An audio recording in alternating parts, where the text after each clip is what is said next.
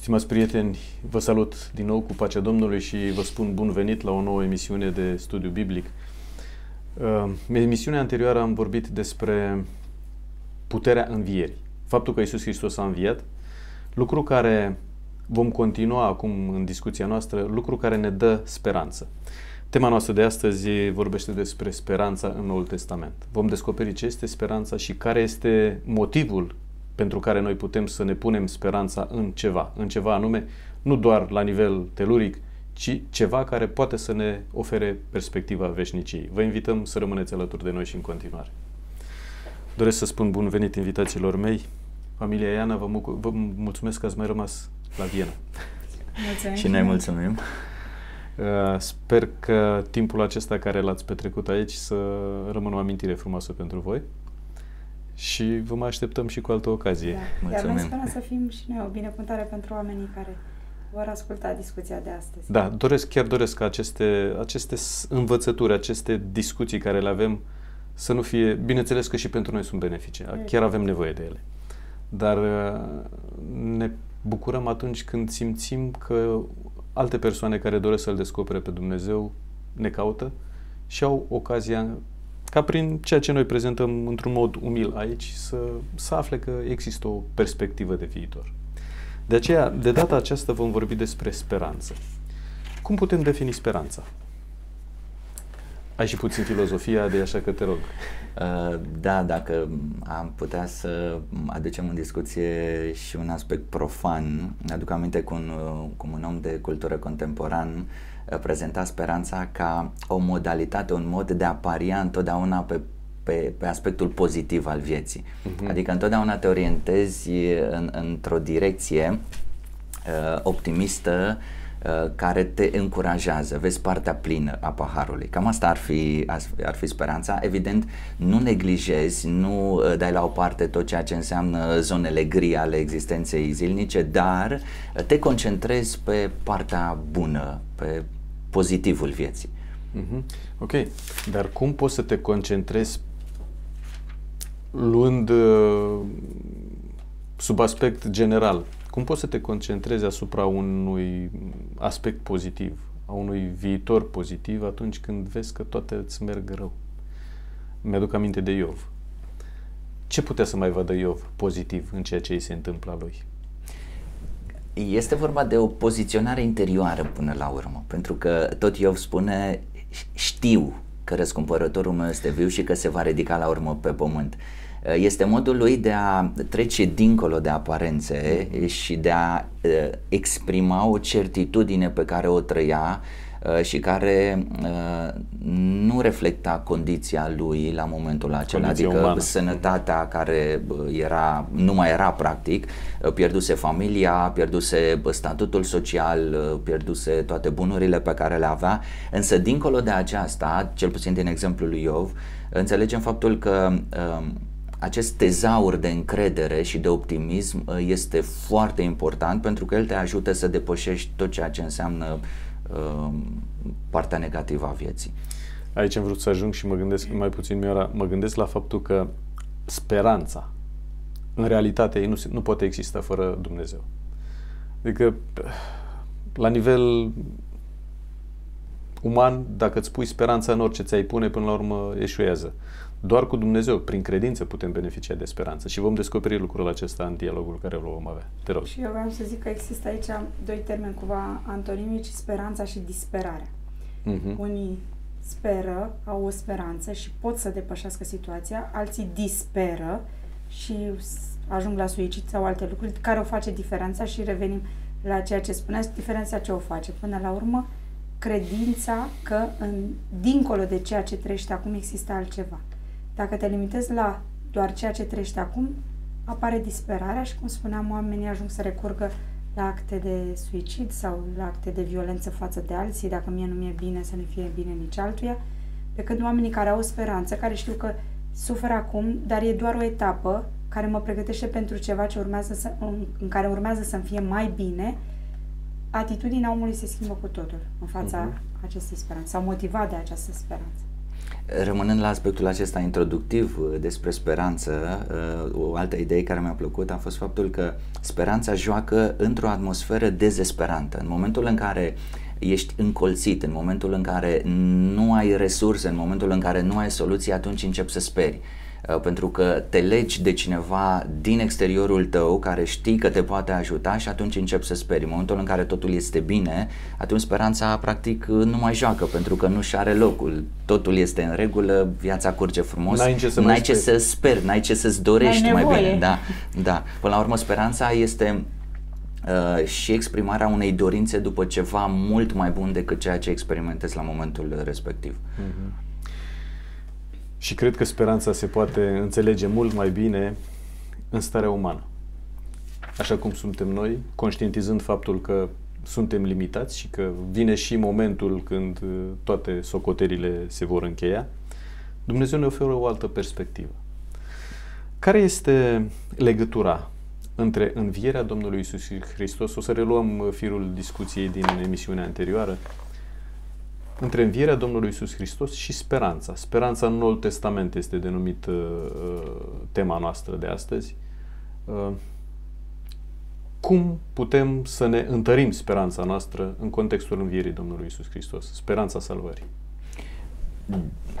Creștin fiind, speranța mea nu este o aruncare în gol, fără niciun fundament, până la urmă. Fără o bază. Fără o bază. Pentru că eu sper pentru că am un motiv să sper. Sper pentru că mi s-a dat un motiv pentru demersul acesta.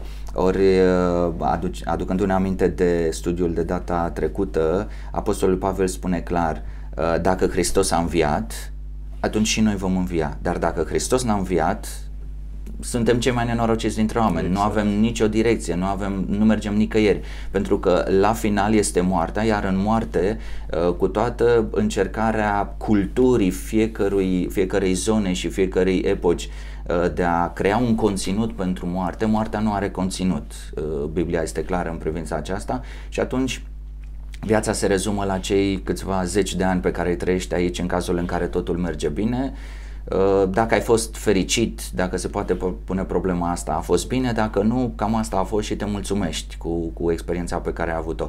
Ori Biblia uh, ne ajută să trecem dincolo de asta și să ne dăm seama, să conștientizăm darul lui Dumnezeu, care este viața veșnică în Isus Hristos, Domnul nostru. Un Isus Hristos, un mântuitor care a înviat, deși a fost mort, a înviat. Uh, și aici putem vedea din nou faptul că noi ca oameni, deși avem sau trăim cu o condamnare la moarte în buzunar, în umbra morții, totuși avem acest dar al vieții veșnice pe care Dumnezeu ne-l dă și care este o garanție. Hristos a înviat și noi vom învia și lucrul acesta este uh, o certitudine de care ne putem bucura și pe care ne putem construi speranța. Da, mulțumesc. Și tot Biblia îmi place cum spune în Corinteni 15, dacă numai pentru viața aceasta ne-am pus nădejdea în Hristos, atunci suntem cei mai nenorociți dintre oameni. Și după aceea tot Pavel continuă, în, în urmă va veni sfârșitul când el va da împărăția în mâinile lui Dumnezeu Tatăl, după ce va fi nimicit orice domnie, orice stăpânire și orice putere. Căci trebuie ca el să împărățească până va pune pe toți vrăjmașii sub picioarele sale. Și după aceea continuă, Ehm, dar când totul a fost, i-a fost supus, se va înțelege că afară de cel ce a fost supus totul și când toate lucrurile vor fi supuse, atunci chiar și fiul îl va, se va supune celui ce, i-au, celui ce i-a supus toate lucrurile, pentru ca Dumnezeu să fie totul în toți. În tot. Mhm. Deci rămâne până la urmă speranța învierii, învierea rămâne o speranță că El va supune totul și prin El și oamenii vor avea parte de aceeași speranță a învierii. Uh-huh. Până la urmă, acesta este lucrul care uh, rămâne fundamental în experiența creștină. Speranța în, într-o viață mai bună. Uh, vis-a-vis de acest lucru, ca și creștini, încă de când Isus Hristos a înălțat la cer, episodul acela când ucenicii stăteau și se uitau cum a fost luat la cer și apar îngerii și le spune bărbați galileeni, de ce stați și vă uitați? Așa cum a f- l-ați văzut plecând, așa va veni. E bine, de atunci și până în ziua de astăzi, cei care îl iubesc pe Iisus Hristos așteaptă acest moment. Și nu s-a întâmplat. Și nu se întâmplă. Este o întârziere, este o amânare. ce se întâmplă de nu mai vine? Este pertinentă întrebarea. Uh, în același timp, uh, să nu uităm faptul că Dumnezeu este atemporal. Uh-huh. La Dumnezeu nu există timp. Nu putem vorbi de uh, mai devreme sau mai târziu din perspectivă divină. Mai devreme sau mai târziu uh, au un rol în, în contextul umanității noastre. Uh, poate că pentru noi, având în vedere că ne dorim o schimbare a lucrurilor, uh, având în vedere suferința, moartea, durerea și experiențele traumatice pe care noi le experimentăm, am dorit ca Dumnezeu să vină mai devreme. Uh, însă, tot Biblia ne spune că planurile lui Dumnezeu nu cunosc nici grabă, nici întârziere. Poate că noi am fi putut sau am putea identifica anumite episoade în istorie când uh, revenirea lui Hristos ar fi fost oportună și ar fi fost potrivită din perspectiva noastră.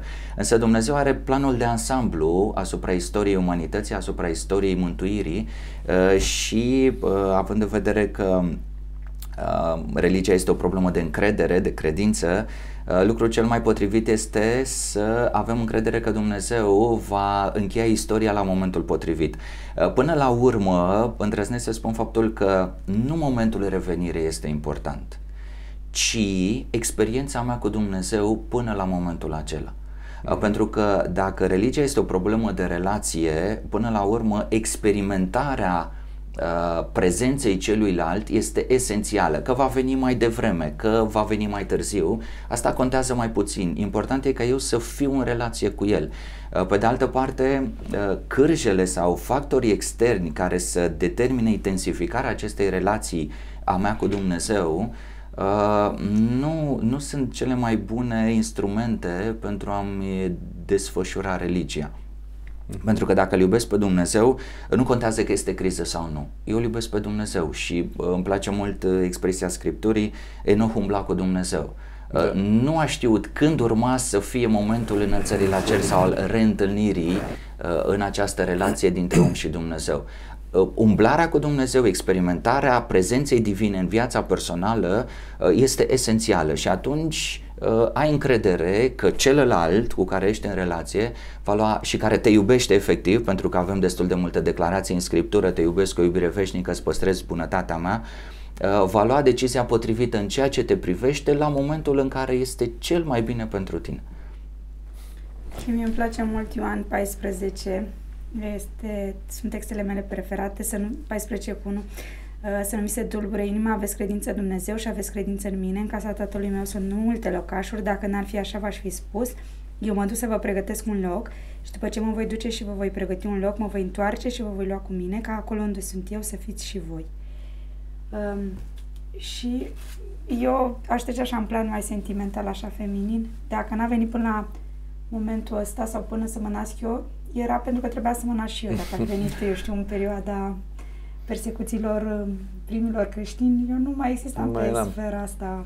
Dar și um, cred că trebuia să fiu și eu, poate trebuia să fie și copiii mei și adică, cred că Dumnezeu exact are un, cum, cum formeam și până acum, are un plan pe care eu ca un limitat nu-l înțeleg, ca și un copil care um, nu înțelege uneori de ce trebuie să facă un lucru, deși poate tu ca adult este normal, așa mm-hmm. trebuie să faci.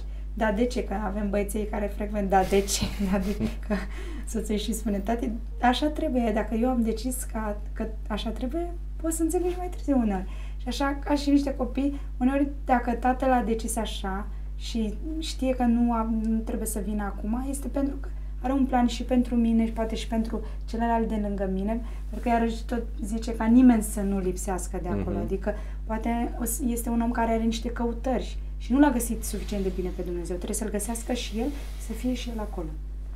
Aș vrea să mă leg de ideea aceasta a persecuțiilor uh, primul, primelor, primului secol. Uh, este, este foarte sugestivă imaginea uh, tatălui, de exemplu, care trebuie să-și privească familia ce se află în arenă și este pe cale să fie sfâșiată de fiarele, fiarele sălbatice. Este atât de emoționantă și este mm-hmm. clar că și-ar fi dorit ca această făgăduință a lui Isus Hristos mă voi întoarce la voi atunci. să se împlinească cât mai repede, pentru că în felul acesta percep eu că familia mea este salvată și am parte de acest confort emoțional, relațional. Uh, tocmai, tocmai uh, situațiile presante ale vieții pun problema întârzierii. Însă din perspectiva lui Dumnezeu nu se pune această problemă, pentru că dincolo de suferința mea, în cadrul acesta al, al unui plan de mântuire ce vizează întreaga umanitate, uh, Dumnezeu iubind pe fiecare are nevoie să dea timp fiecăruia să-L cunoască și să experimenteze relația cu El și să ia decizia uh, de a-și preda viața Lui. Uh, și atunci este bine ca să las în mâna lui Dumnezeu această problemă a întârzierii, până atunci să am eu o relație frumoasă, consistentă cu El. Îmi place gândul acesta că planurile lui Dumnezeu nu au nici grabă, nici întârziere. Însă pentru noi ca oameni, uneori dorim ca lucrurile să, întâmple mai repede. să se da. întâmple da. mai repede, pentru că chiar simțim uneori că uh, e obosită planeta. Și împreună Categoric. cu planeta asta suntem obosiți și noi și Domnul să-și împlinească odată făgăduința făcută.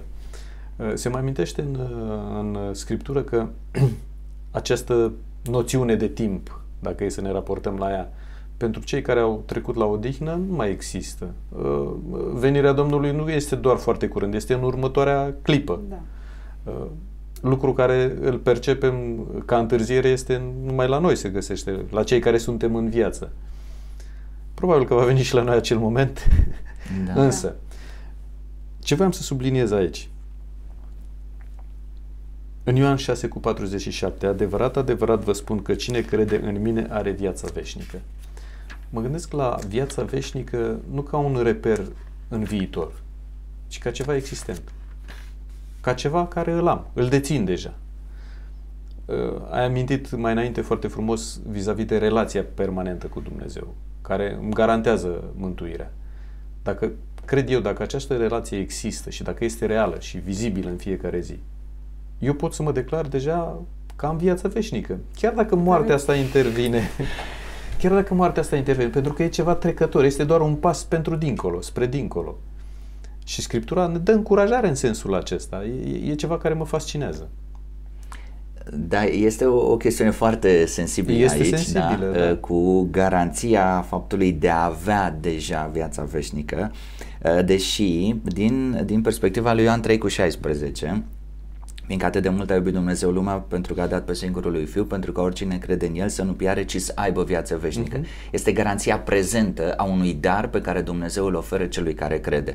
În Cartea Faptelor Apostolilor avem suficiente ipostaze uh, unde avem întrebarea Uh, ce să fac ca să fiu mântuit și atunci crede în Domnul Isus tu și toată casa ta. Uh-huh. Și în momentul în care îți exerciți credința, Biblia ne spune că Dumnezeu îți oferă uh, viața, viața veșnică. Este darul pe care El ți-l dă în momentul în care există această înnodare a exact. vieții tale prin credință cu garanția lui pe care Dumnezeu o oferă. Numai că această viață veșnică pe care Dumnezeu o garantează este aș putea spune condiționată, adică sunt Sigur. anumiți termeni pe care Dumnezeu îi așează în acest legământ pe care îl face cu omul uh, și care, uh, de care omul trebuie să țină cont pentru a putea beneficia de această relație permanentă cu Dumnezeu. Uh, doar o scurtă incursiune în Vechiul Testament atunci când poporul Israel preia darul acesta al țării făgăduite, Uh, exista o condiție și anume faptul că de a nu avea un alt Dumnezeu. Este de fapt prima poruncă, eu sunt Domnul Dumnezeul mm-hmm. tău care te-am scos din țara Egiptului, din casa robiei, să nu ai Dumnezei în afară de mine. Atâta timp cât îți dorești doar darul fără dătător, nu poți avea darul. Dar în momentul în care menții relația cu dătătorul, respectiv Dumnezeul care îți dă țara și îți exprimi loialitatea permanentă față de el, atunci automat darul rămâne la tine. Uh-huh. Însă este importantă relația, recunoașterea, suveranitatea uh, dătătorului acestui dar uh, asupra vieții tale. Prin uh, cele 10 porunci, dacă ne referim la legea morală și toate celelalte Uh, elemente care compun uh, experiența noastră cu Dumnezeu. Nu, nu poți să acționezi oricum și te poți bucura de viața veșnică pentru că nu aceștia sunt termenii relației cu, cu Dumnezeu. Uh, o singură idee aș mai amintea, de exemplu, aceea a căsătoriei. E adevărat că și el și ea promit loialitate, Dar asta nu înseamnă că te poți comporta oricum pentru că el ți-a promis loialitate sau ea ți-a promis mm-hmm. loialitate. Căsătoria are termenii ei. În momentul în care uh, spargi cadrele căsătoriei, uh, căsătoria nu mai poate rămâne uh, valabilă. Mm-hmm. Da, și ideea pe care o spune și Domnul Isus în Ioan 6, spune așa, eu sunt pâinea vieții, cine vine la mine nu va slăm, flămânzi niciodată și până după aceea spune așa, cine crede în mine nu va înseta niciodată. Apare termenul de a crede în mine, să completez ideea, trebuie să crezi în el ca să primești darul pe care el ți-l oferă. Și a crede în cineva, exact, presupune loialitate, presupune un o relație cu persoana respectivă în care crezi și pe care o adori și așa mai departe. Mm-hmm. Exercitarea credinței și recunoașterea unei instanțe superioare, unei autorități, înseamnă asumarea valorilor promovate de uh, autoritatea respectivă. Uh, și acele valori le găsim pe paginile Scripturii. Avem viață veșnică, dar uh, doar atâta timp cât asumăm statutul pe care ni-l, uh, ni-l conferă Biblia în relația cu Dumnezeul nostru, acela de ființe create, ființe responsabile, ființe care avem nevoie de salvare și care primim salvarea prin credința în Isus Hristos și prin acceptarea Lui ca mântuitor personal. Și credința aceasta trebuie să se manifeste permanent, zilnic. Categoric. Adică Categoric. nu am primit uh, darul acesta, cum ai amintit, l-am primit astăzi, îl am, beneficiez de el, dar mâine văd de treaba mea sau fac altceva. Cu siguranță. Uh, mi-a plăcut ideea de familie, căsătorie. Uh, nu poate exista, adică ai, ai jurat loialitate partenerului la momentul căsătoriei și peste o săptămână sau mâine, bine, eu ți-am promis, ți-am oferit loialitate astăzi, dar nu trebuie să ți oferi și mâine. Cred că garanția vieții veșnice este o trăire permanentă cu Dumnezeu. Categoric. Zilnică. Lucru care îmi garantează mântuirea. Uh, mulți sau de multe ori ne punem cumva întrebarea, oare uh, se amintește în, în partea finală a istoriei planetei când uh, Harul va fi închis? Intru puțin în teologie. Și spune, se spune că cei mântuiți vor sta înaintea tronului lui Dumnezeu fără mijlocitor după momentul închiderii Harului. Și mulți își pun întrebarea, oare nu cumva a rămas vreun păcat nemărturisit care să mă depărteze de Dumnezeu sau care să nu-mi permită intrarea în împărăția cerului? Lucrul acesta se întâmplă și în zilele noastre astăzi. Eu personal vă spun că trăiesc momentele de, momente de genul acesta. De multe ori îmi cer iertare Dumnezeu pentru anumite greșeli pe care le găsesc în viața mea, dar parcă îmi lipsește garanția că într-adevăr lucrul acela s-a întâmplat. Deși sunt convins, știu că Dumnezeu mă iartă. Și am, am discuții cu multe persoane. Chiar săptămâna trecută mi-a scris un, un băiat cu care stau foarte mult de vorbă despre, despre salvare, despre viața veșnică, despre speranță. Și uh, îmi recunoștea faptul că a avut momente de bucurie când a biruit. Zice, din nefericire, acum simt că merg iarăși în jos. Și uh, oamenii sunt descurajați intervine aspectul acesta. Am garanția vieții veșnice, am siguranța mântuirii, dar cu toate acestea mă regăsesc adesea că pierd teren.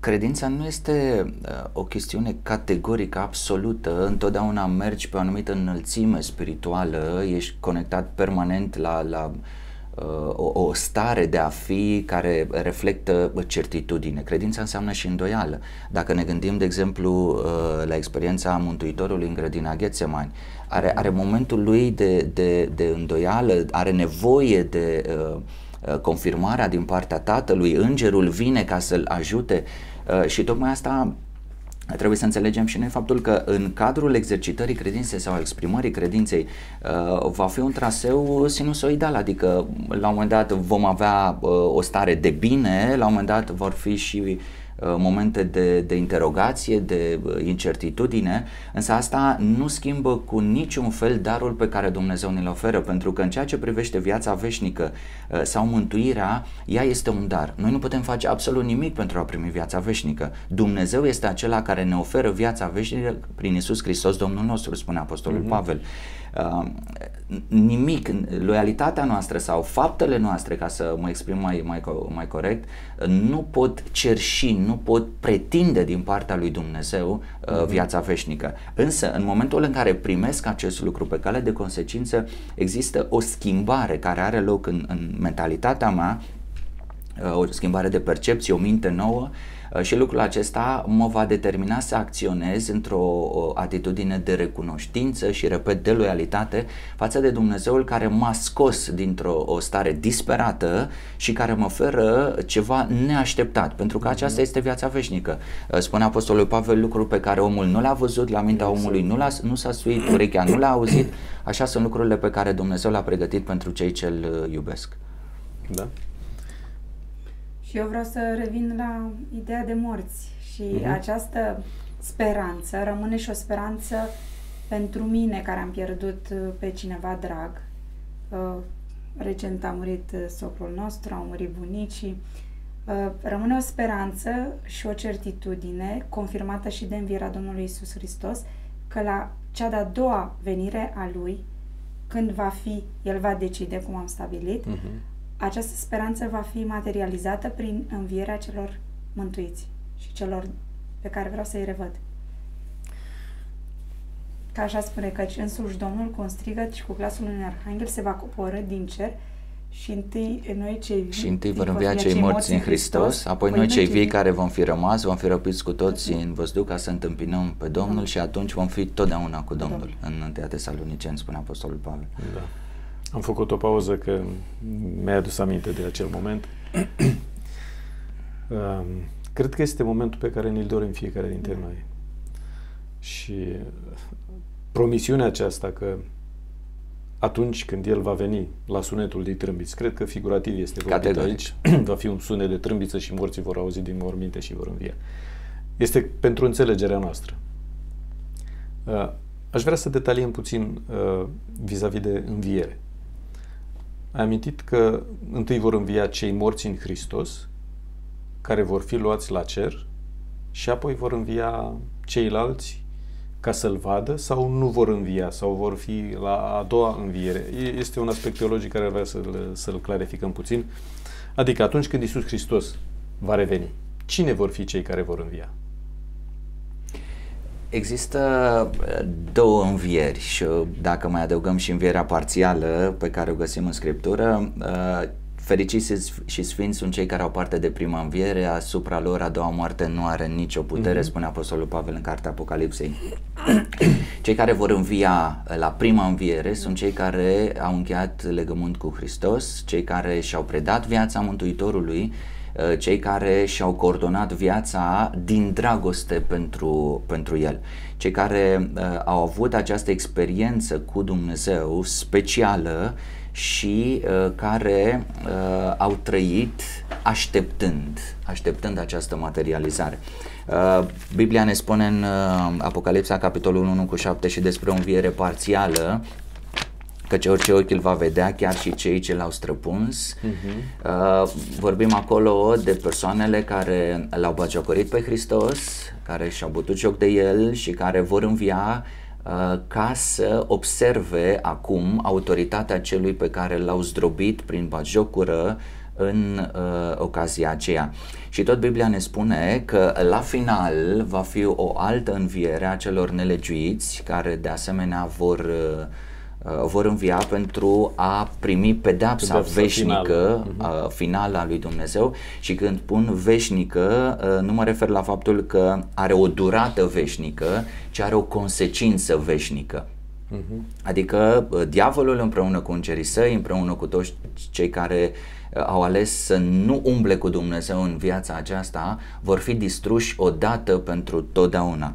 Uh, și îmi place foarte mult un citat pe care îl găsim într-o, uh, în cartea Tragedia Veacurilor de Len White, citatul final, uh, parafrazez, la final tot universul este în armonie pentru că răul nu mai există uh-huh. și pentru că acum domnește doar dragostea și bucuria și uh, un Dumnezeu care uh, este recunoscut în totalitate de către toți cei ceilalți, toate creaturile sale, având în vedere experiența anterioară a rebeliunii uh, păcatului. Da. Sunt uh, denominațiuni care, scuzați-mă, uh, care vorbesc despre un moment al răpirii. Uh, Scriptura amintește aspectul acesta, toți vor vor fi răpiți uh, în văzduh. Termenul acesta mm-hmm. este, este, este amintit. Uh, am înțeles că s-au făcut și filme care... Left Behind. Left, Left Behind, da, în care cineva conduce autobuzul și șoferul fiind și un copil al lui Dumnezeu sau este răpit și ceilalți și, și am auzit o predică în care cinea, cineva spunea vă dați seama, fraților, ce tragedie va fi atunci, ce se va întâmpla când uh, un pilot de avion va fi luat de la de acolo de unde conduce și tot avionul se va prăbuși sau, mă rog, tot felul de accidente de genul acesta care se poate întâmpla în urma uh, absenței sau a răpirii unui om. Se evidențiază așa ceva în scriptură sau această răpire sau cum are loc răpirea dacă e să vorbim despre o răpire sau despre ce răpire este vorba aici? Aș spune că Dumnezeu este acela care favorizează viața și o protejează. În momentul nu, în care nu, nu, nu-mi imaginez un Dumnezeu care să-l, să-l facă nevăzut pe pilotul avionului în timp ce noi suntem acolo și să ne prăbușim. Ar fi un, un mm-hmm. nonsens. Revenind la, la aspectul biblic, uh, Biblia spune un lucru și anume faptul că revenirea lui Isus Hristos uh, va fi un eveniment care va fi perceput de tot și pământul, orice da. Ochi orice ochi îl va vedea. Uh-huh. Uh, oricine va putea să îl vadă în slavă revenind pe Mântuitorul nostru. Acest, uh, acest favoritism, această uh, atitudine selectivă a lui Dumnezeu uh, nu este, nu-și găsește corespondent în uh, caracterul, în caracterul său. Uh, chiar și Apostolul Petru spune în momentul în care vorbește în casa lui Corneliu, văd într-adevăr că Dumnezeu nu este părtinitor. Uh, Uh, Dumnezeu se raportează în mod egal pe toți, iubește pe toți uh, și oferă șansa salvării fiecare persoane în momentul în care îl acceptă pe Isus ca mântuitor personal. Uh-huh. Și această idee pleacă de la textul acesta din 1 Corinteni 15, unde spune și iată vă spun o taină, nu vom adormi toți, deci unii nu vor muri, dar toți vor fi schimbați într-o clipeală, uh, într-o clipă, într-o clipeală de ochi, la cea din urmă trâmbiță, trâmbița, trâmbița va suna, morții vor învia nesupuși putrezirii și noi vom fi schimbați. Căci trebuie ca trupul acesta supus putrezirii să se îmbrace în neputrezire și trupul acesta muritor să se îmbrace în nemurire. Uh-huh. Prin această taină, ce înțeleg eu din ce explică Apostolul Pavel este că și cei care sunt vii, n-au murit, trebuie să sufere o transformare, Sigur. da? Uh-huh. Corpul acesta, la un moment dat, eu știu, cu un picior amputat sau cu, ă, adică semnele acestea ale păcatului, semnele vizibile ale suferinței, ale chinului, se vor transforma și oamenii uh, vor, re, vor deveni transformați Perfecți. da, uh-huh. în mhm. forma asta fizică. Adică eu nu văd că cei care, adică unii beneficiază de un tratament special și alții nu, ci văd această transformare, înțeleg ca o formă în care omul se metamorfozează fizic din uh-huh eu știu, imperfecțiunile determinate de vârstă, de suferință și așa mai departe, vor fi transformate. Uh-huh. Plus că uh, mai este și celălalt aspect, din starea de păcat, din starea exact. de om muritor, oamenii vor fi îmbrăcați în nemurire, uh, spune textul. Uh, aici, aici mai apare un aspect. Uh, se spune despre Isus Hristos că va purta pentru veșnicie semnele cuielor. Uh, Toma a fost cel care le-a văzut, le-a pipăit.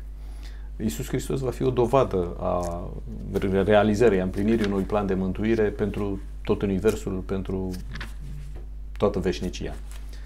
Uh, se va întâmpla lucrul acesta și la oameni care au avut, uh, mi-au spus mai devreme că dacă cineva a avut un picior amputat sau uh, va fi înviat într-un om perfect. Dar cicatricele, eu am cicatrice unde am fost rănit, unde am fost tăiat. Vor dispărea și acestea, nu? Biblia vorbește de o transformare a transformare naturii umane, completă. total, completă. Uh, și atunci, într-un univers perfect, uh, vom putea experimenta perfecțiunea uh, pe mhm. care Dumnezeu a intenționat încă de la început. Faptul că Isus Hristos va purta aceste semne va fi o, o, o dovadă a faptului că păcatul are consecințe dramatice Uh, și păcatul nu va mai fi o experiență repetabilă. Mm-hmm. Nimeni nu va alege, nu va mai uh, opta în felul acesta. Și va fi o excepție, Iisus Hristos va fi o excepție, adică Categoric. o excepție, uh, ceva care să, să dovedească Universului pentru toată și veșnicia. că, la infinit da. iubirea la infinit. Lui, adică exact. vei vedea tot timpul că ești rodul unui sacrificiu. Salvarea ta e rodul unui sacrificiu făcut de Domnul Iisus Hristos. Vei avea tot timpul această certitudine că ești o minune a, un, a, a, a darului oferit de Domnul Isus Hristos prin moartea și uh-huh. să continuăm și învierea asta. Așa de mult îmi doresc ziua aia. Amin. Amin. Cert este că Isus Hristos ne oferă această posibilitate. Și indiferent de încredere sau neîncrederea noastră, avem îndemnul să acceptăm oferta, darul vieții veșnice. Aș vrea să faceți o concluzie a acestor idei care le-am discutat și un sfat pentru cei care ne urmăresc, care ne ascultă, o încurajare, în așa fel încât, știu eu, să putem pleca de aici cu ceva. Nu doar cu o informație, ci și cu un, o mângâiere sufletească. Experiențele cotidiene ne împing spre descurajare. Un cancer, un deces, exact. toate acestea sunt elemente care umbresc bucuria vieții cotidiene. Însă în momentul în care te orientezi spre Biblie, observi intenția inițială a lui Dumnezeu unei fericiri veșnice și garanția pe care o, o dă prin propriul său sacrificiu, adică Dumnezeu garantează cu el însuși fericirea omului, prin credință cred că putem să vedem dincolo de suferința prezentă, iar uh, actul despărțire, așa cum spunea și soția mea mai devreme, ar trebui să fie o încurajare uh, pentru a trăi frumos într-o relație uh-huh. uh, consistentă cu Dumnezeu, în vederea unei revederi mai târziu cu cei dragi și cu Dumnezeu. Uh, nu cred că neapărat ceea ce primești la final ar trebui să motiveze experiența ta cu Dumnezeu. Uh, ci angajarea într-o relație bazată pe dragoste, pentru că sunt iubit, răspund cu dragoste, iar această dragoste uh, radiază în, în jurul meu. Uh, învierea lui Iisus Hristos este garanția faptului că uh, vom învia. Speranța aceasta uh, de-a lungul timpului uh, își va găsi materializarea. Dacă nu în timpul vieții mele, uh, mai târziu și dacă nu se va întâmpla acum, Dumnezeu știe mai bine de ce. Uh-huh. Pentru că Dumnezeu mă iubește, iar eu voi accepta planul său. Da, mulțumesc. Și nu îmi place să cred că, exact cum spuneam, să nu vi se tulbure inima. Aveți credință în Dumnezeu. În casa tatălui meu sunt multe locașuri. Um, eu mă duc acolo să vă pregătesc un loc. Locul e pregătit sau urmează să fie pregătit. Ideea ține, îl voi accepta, um, exact. voi ajunge acolo, îl voi accepta pe cel care mi-a pregătit locul și locul pe care mi l-a pregătit sau voi trăi sub uh, egida Carpe Diem, trăiește clipa fericită acum că nimic mm-hmm. nu există. Depinde de mine dacă viața mea urmează un curs veșnic sau se limitează la o viață ter- terestră mm-hmm. finită. Dragii mei, vă mulțumesc mult. Cuvinte de încurajare și de speranță.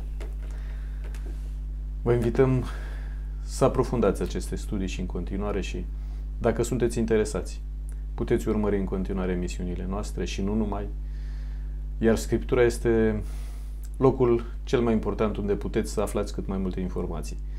Mai mult decât informația, cred că rugăciunea, relația cu Dumnezeu este cea care poate să ne deschidă mintea, poate să ne determine, să ne facă să înțelegem mai bine care este planul Lui cu noi.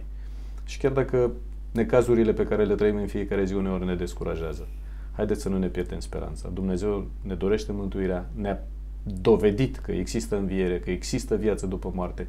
Să ne legăm de această speranță și să, să credem cu tot din adinsul că se va întâmpla și în dreptul nostru acest lucru. Până data viitoare vă spunem la revedere și vă așteptăm la următoarea emisiune. Domnul cu dumneavoastră!